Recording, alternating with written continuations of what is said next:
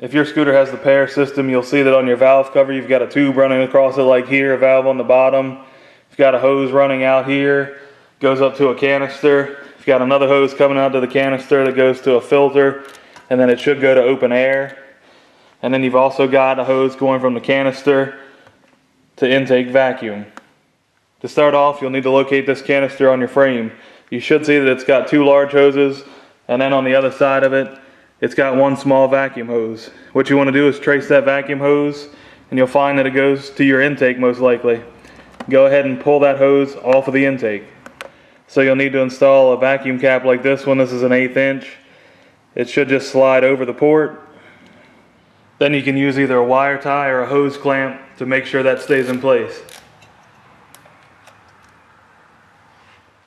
Move up to the valve cover area and you'll see this large hose here. It's got a clamp on the end of it.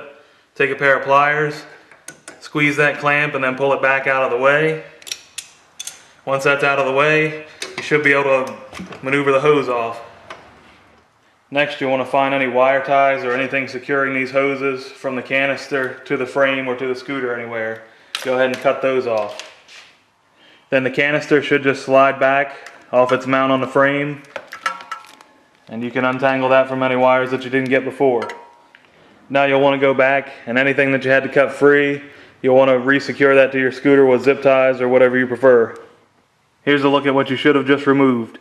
You should have the canister, it should have a vacuum hose attached to it, the hose that was going to your valve cover, as well as the hose that was open to air with this little filter on it. Now you've got a couple of things left to deal with on the valve cover and on the head. So to begin with, I'm going to pull this clamp off and pull the hose off of the valve cover here. Once that's off, I'm going to remove the four bolts around the valve cover. Then I'm going to remove these two bolts here holding this flange and the tube to the head. Once all six of those bolts are out, you should be able to just pop the valve cover off.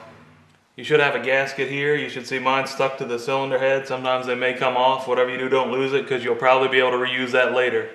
You will want to remove all the oil residue from the valve cover seating area and from this gasket.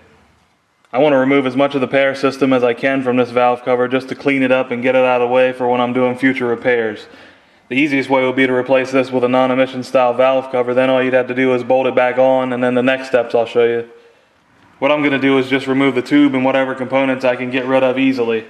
So to begin with, remove the three bolts you can see here. They're all 8 millimeter hex head. With all those out, you should see that the bottom pops off and this tube will come off of the head. There's a reed valve assembly here. You should be able to just pop that out. Then on the top, there's a gasket. You can just pry that off. Clean all the gasket material off here, get it good and clean. You'll also want to clean the bottom of your valve cover and make sure that your valve cover seal is in good condition. Back over to the engine, you can see there's still a hole in the head that needs to be plugged up. You can get a block off plate from, I believe it's NCY, and just bolt that on. Or you can make your own. It really just needs to be a piece of metal with the right bolt holes to match up to this. Bolt it on in place with a gasket and seal it off. I'm going to make a block off plate out of the old components. So you can see I've got this in a vise. This is the end that did bolt up to the head. I'm going to go ahead and saw it off. After I sawed it off, I flattened it out with a grinder and removed all the chrome plating.